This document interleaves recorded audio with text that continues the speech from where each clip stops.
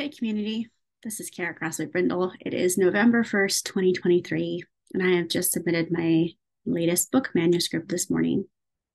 It's full of mixed emotions because those of you who are closest to me know this is a heavier topic.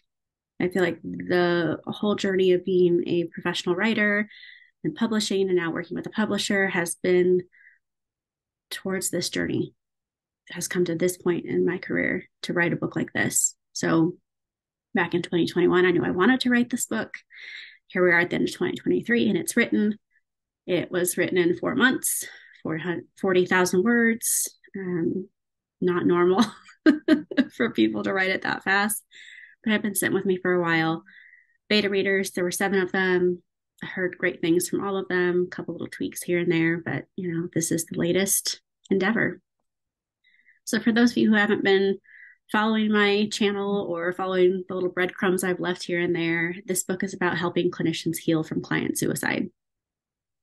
Heavy topic. 25% of us will have a client die by suicide in our career. And there's one other book out there about this, and it's 15 years old. So, uh, this is a passion of mine. Apparently, I like to talk about heavy things like money and suicide. So, here we are.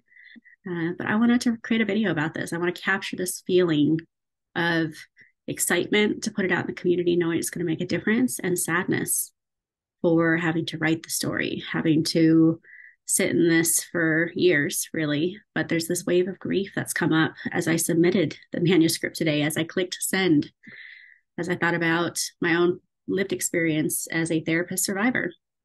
And for those of you who are curious what my story is, it's in this book it's something I'll be showing up more transparently around of saying, Hey, I have had a client die by suicide. Hey, I'm a suicide assessment trainer, and this still happened. And so this book isn't meant to scare people, it's meant to eliminate confidential grief, the fact that we can't talk about it. It's meant to bring us closer together. It's meant to have hope and community and healing and to look at the messy side of being human, which is where suicide is possible. So I felt compelled to record myself trying to capture this feeling on November 1st, 2023, as the manuscript has now been submitted. It'll come out sometime probably in fall of 2024. So we've got some waiting to do, which is actually the hardest part for me is to wait that long.